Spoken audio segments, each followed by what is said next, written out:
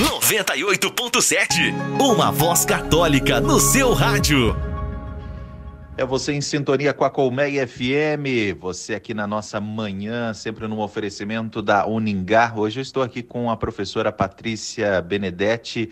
O tema da nossa entrevista hoje é muito importante. Eu quero que você preste atenção, porque sempre quando a gente fala de radiação, as pessoas elas dizem assim: "Mas será que faz mal? O que que acontece? A radiação utilizada para os exames faz mal. Professora do curso de biomedicina da Uningá, técnica em radiologia, biomédica, especialista em diagnóstico por imagem, já está aqui comigo. Tudo bem, professora? Bom dia, seja bem-vinda à Colmeia.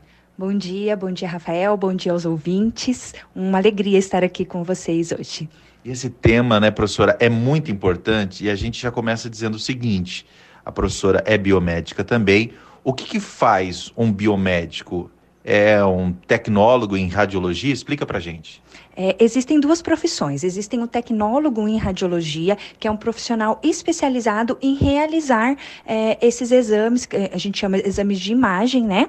Que seria é, as radiografias, tomografia computadorizada, mamografia, densitometria óssea, ressonância magnética. E existem também os biomédicos. É, o curso de biomedicina, ele te dá mais de 35 áreas de atuação. E uma das, das áreas de atuação do biomédico, onde na Uningá esse profissional já sai habilitado, é a área de imagem, onde é, ele também realiza os exames de diagnóstico por imagem.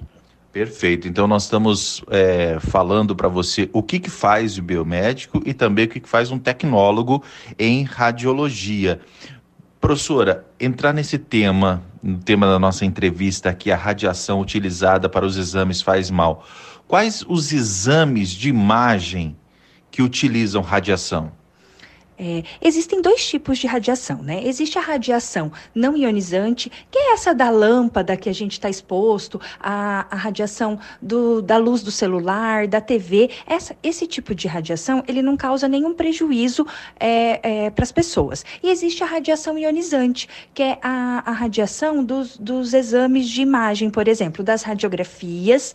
Né? Então, quais exames que tem esse tipo de radiação ionizante? Então, seria as radiografias que popularmente popularmente nós chamamos de raio-x, a tomografia computadorizada, a mamografia, que é super importante que as mulheres façam anualmente, e a densitometria óssea também. Falando em diagnóstico por imagem, seria esse, esses exames que utilizam radiação ionizante. A ressonância magnética não utiliza radiação ionizante. Ele é, a aquisição desse tipo de exame é feito por ondas de radiofrequência, é diferente, então.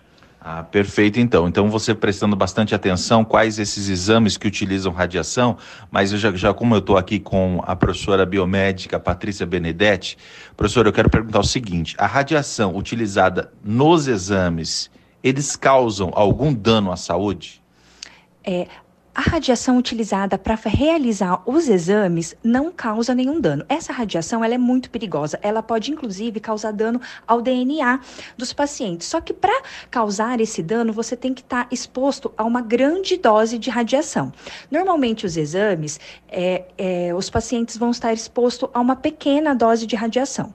O, é, qual seria o problema? O problema é que essa radiação tem efeito cumulativo. E hoje em dia, os bebezinhos já começam é, sempre realizando é, exames de raio-x e tal. Por isso que a gente vai notar que os médicos são muito cautelosos quando vão pedir exames é, que tem esse tipo de radiação, porque essa radiação é cumulativa. E se a criança já começa a fazer é, é, raio-x, né? Por exemplo, desde quando é bebezinho, imagina quando ele tiver 30, 40 anos, ele já recebeu uma dose de radiação muito alta. Então, é, o ideal é sempre é, observar o custo-benefício, né? É, esse exame, ele realmente é necessário? É justificado que se faça esse exame? Se for justificado, você pode fazer os exames tranquilamente. Mamografia, a dose de radiação para mamografia é muito pequena, principalmente porque você vai fazer só uma vez por ano. Então, é, eu quero deixar esse recado aqui. As pessoas não precisam ter medo da radiação dos exames, só que tem que existir cautela. Então, quando o exame é bem indicado, essa radiação com certeza não vai fazer mal para o paciente.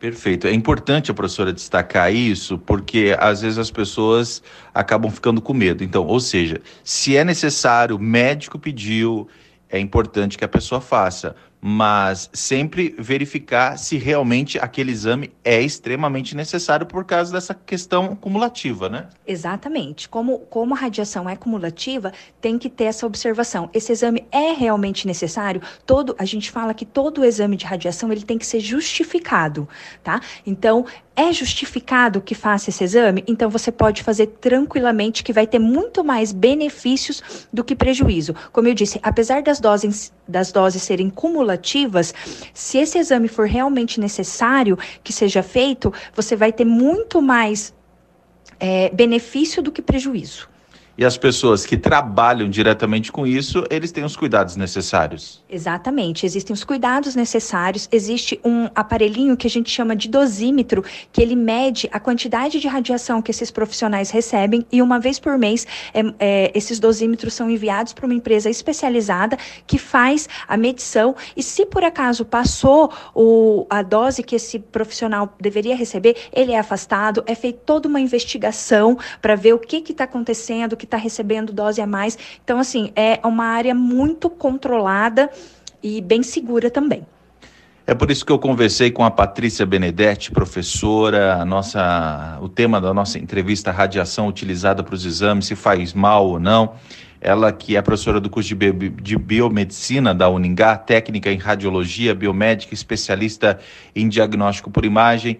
Ou seja, a mensagem que fica é: não precisa ter medo. Se é necessário fazer, faça. Mas nada em exagero aquilo que não é necessário, né, professora? Exatamente isso. Normalmente é o médico que faz a solicitação do exame e você pode confiar no seu médico que ele com certeza que é o melhor para você. Professora, muito obrigado pela participação e parabéns pelo seu trabalho aí junto com a Uningá. Muito obrigada, eu que agradeço a oportunidade de estar aqui.